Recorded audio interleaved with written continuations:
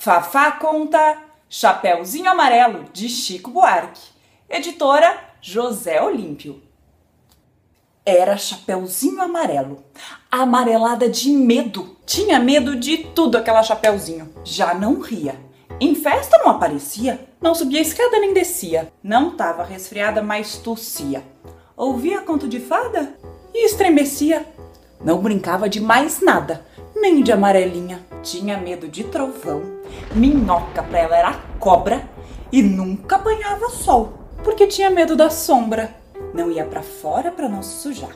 Não tomava sopa para não ensopar. Não tomava banho para não descolar. Não falava nada para não engasgar. Não ficava em pé com medo de cair. Então vivia parada, deitada, mas sem dormir, com medo de pesadelo. Era Chapeuzinho Amarelo. E de todos os medos que tinha, o medo mais que medonho era o medo do tal do lobo. Um lobo que nunca se via, que morava lá para longe do outro lado da montanha, num buraco da Alemanha cheio de teia de aranha, numa terra tão estranha que vai ver que o tal do lobo nem existia. Mesmo assim, a Chapeuzinho tinha cada vez mais medo do medo do medo do medo do medo do medo de um dia encontrar um lobo. Um lobo que não existia. E Chapeuzinho Amarelo, de tanto pensar no lobo, de tanto sonhar com o lobo, de tanto esperar o lobo, um dia topou com ele.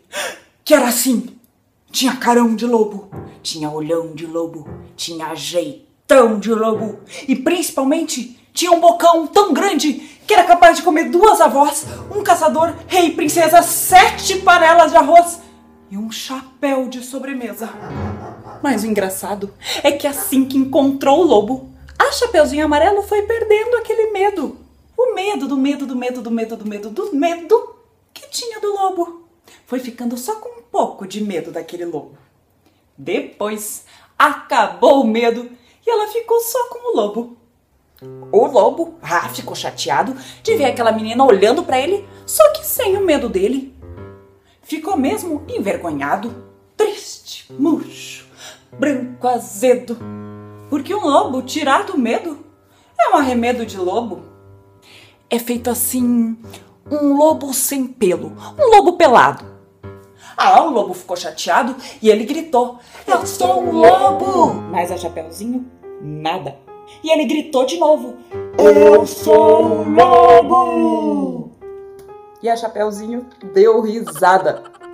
E ele berrou: Eu sou um lobo! Chapeuzinho já estava meio enjoada, com vontade de brincar de outra coisa.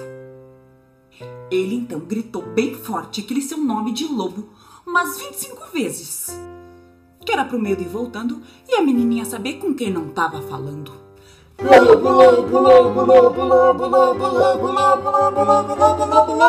Ai! Chapeuzinho se encheu e disse: Para! Já! Agora sim, do jeito que você tá! E o lobo parado assim, do jeito que o lobo tava.